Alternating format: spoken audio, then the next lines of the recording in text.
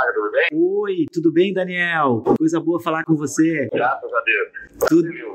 Nossa, então, então vamos lá, já vamos, já vamos falar é, para falar de prazer de entrevistar, eu vou falar de, de, de amor, né? É muito bom. É, que, o que tá assim de expectativa para esse show, né? Aqui em Porto Alegre, a Força do Amor. Eu queria que, que tu falasse. A gente sabe mais ou menos como é que foi a ideia, mas essa junção, ela, ela, ela parece que juntou, é, como se fala no esporte, o Dream Team, né? Juntou os caras que mais fizeram músicas de, de amor, assim, em, como, como grupo, e juntou o cara que representa o amor, né? Como é que tu me conta dessa, dessa junção de vocês? Poxa, eu estou muito feliz com essa história, porque nasceu de, de, de, de uma forma muito natural, né, muito espontânea, assim. Eu estava fazendo é, uma live, a primeira live, na verdade, que eu fiz é, nesse, período diferente que a gente está vivendo, que foi uma live em homenagem às mães. E eu cantei uma canção, né, que é A Força do Amor, que inclusive é o título desse projeto. É, cantei para minha esposa no decorrer da live, e naquele mesmo momento, depois que eu terminei a canção, eu, eu joguei, né, essa coisa de, de, de poxa, que legal seria fazer um projeto com roupa nova, né, fazer um, um show com eles, uma live com eles, na verdade. Foi então que eu recebi a resposta, né, de forma muito positiva. Eles aceitaram o convite, a gente fez a live pro Dia dos Namorados é, no mês de junho. E ali surgiu a ideia, através do Matheus Potrebon, de realizarmos esse show, essa pequena turnê, enfim, em algumas localidades do Brasil. E, e, e que coisa interessante, né? Como é, é harmonioso né, o nosso repertório, né? Como eles, é, as canções que cruzam, assim, né? As suas, as suas histórias, as suas melodias, e, e canções que nós tivemos a sorte, né? A grata satisfação de, ao longo desses praticamente 40 anos história, de eternizarem, né? Canções que fazem parte do cotidiano de muita gente, de muitas pessoas, enfim. Canções são é, trilha sonora aí da, é, da, história de muita gente. Então, eu estou muito feliz. Eu, eu, eu, eu toda vez que eu tenho a, possibilidade de saber, puxa, vamos fazer um show com roupa nova, vai ter um presente a mais para mim, porque eles sabem é, da, da, consideração que eu tenho pela banda, do quanto eu sou fã né, da banda, do trabalho deles. Eles me deram a honra de participar pela primeira vez na minha história em 98, quando eu é, preparava o meu primeiro projeto solo, eles fizeram três arranjos, inclusive uma das canções que eternizou, que é a Declaração de Amor, esse, esse arranjo belíssimo que eles fizeram, né, que eles construíram. Enfim, eles fazem parte da minha história, da minha vida, e poder estar com eles é um, um super presente para mim. Eu, eu queria perguntar, porque vocês parecem isso de ficar à vontade no palco, que nem tu falou desses três arranjos lá da Declaração de Amor, eu queria te perguntar isso, porque pelo que eu tenho visto, algumas imagens, comentários, a gente vê agora o mundo é muito virtual, né? Então a gente, quando, quando tá rolando um show, alguém vai lá, faz um ao vivo, quando e tem essa coisa que às vezes o show tem alguma coisa que parece que não foi ensaiado, parece que vocês estão combinando na hora. Eu queria que tu falasse um pouco, porque isso na música é uma das coisas que a gente mais gosta. Eu fui num festival de blues esses dias e tinha as famosas jam session que vão até a, a, ao amanhecer, né? Essa coisa do músico tá ali com o repertório, com tudo certinho, mas de vez em quando dá vontade de, de fazer uma coisa diferente para aquele público específico. É, então a gente a gente está tão à vontade. Até a questão da escolha das músicas foi uma coisa muito louca, porque eles separaram um repertório que eles achavam legal, eu separei um repertório da minha parte que eu achava legal. A gente fez ali, é, preparou alguns blocos e tal, e dentro desses blocos a gente tem a possibilidade de estar cantando um com o outro, é, invertendo as coisas, papéis, eu cantando canções deles e vice-versa.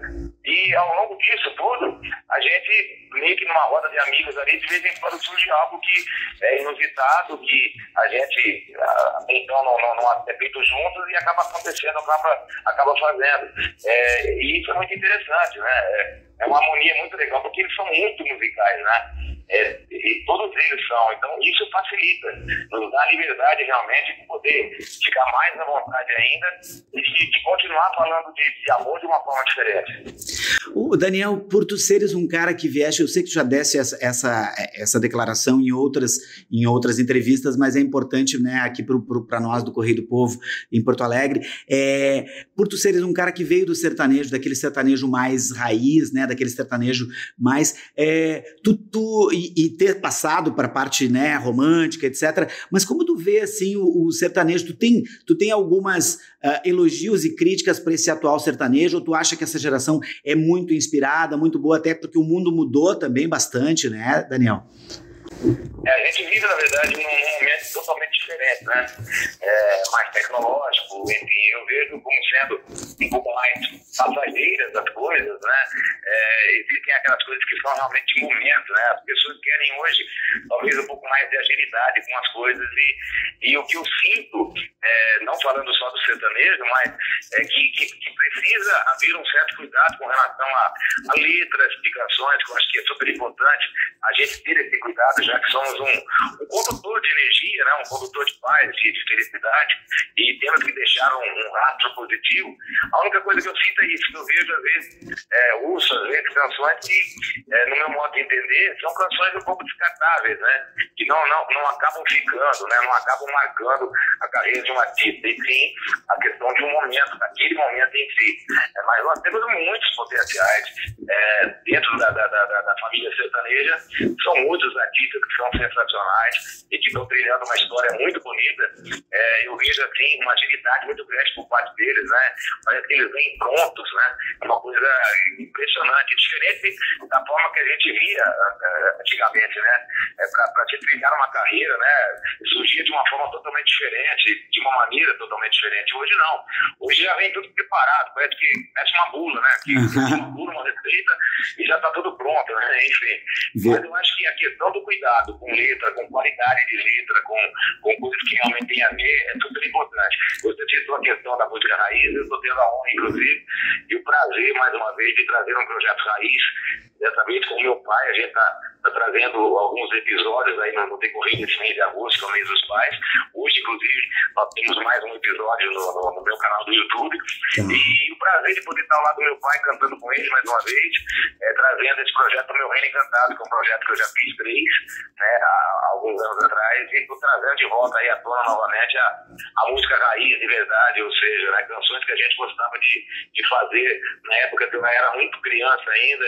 É, então tá aí para as pessoas acompanharem, vocês que gostam, Reino Encantado de pai para filho. Gostamos. Meu, meu pai, é, ele ouvia, Tonico Tinoco era a dupla, a dupla preferida dele, já é falecido, então eu sempre lembro dele quando eu ouço sertanejo raiz. Para fechar, Daniel, querido, é, é, eu, eu preciso falar sempre, a gente faz, tu sabe que aqui no Sul a gente sempre faz a pergunta bairrista, só que ela agora, a pergunta de né, a relação com os gaúchos, com o público, com outros músicos, mas agora vocês normalmente têm relação com um cara, um empresário que, que, que, que a gente conhecia ele, mas agora, depois que eles criou essa agência de gerenciamento de carreira aí da Opus, é, é, parece que se transformou, todo, todo mundo fala assim, eu não sabia desse potencial e esse, esse a coisa do Matheus, né? E eu queria te falar assim, da relação com o público gaúcho, da relação com o Matheus, porque o Matheus cria umas coisas que a gente não, não iria pensar e quando vê tá como esse show, por exemplo. É, o Matheus, ele, ele tem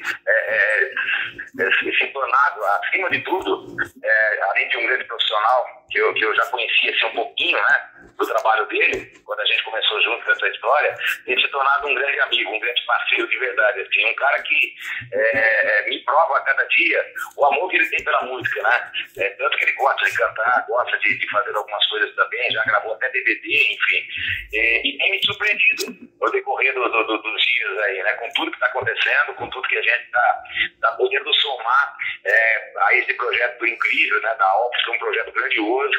É, é uma dupla sensacional para mim. Ele, o Lucas, enfim, é, a toda a família Opus realmente, né? Eu, eu só tenho que agradecer, porque eles vieram chegar num momento muito interessante da minha vida, onde eu, eu queria mudanças também, eu, eu procurava essas mudanças e elas acabaram acontecendo de forma muito legal, assim.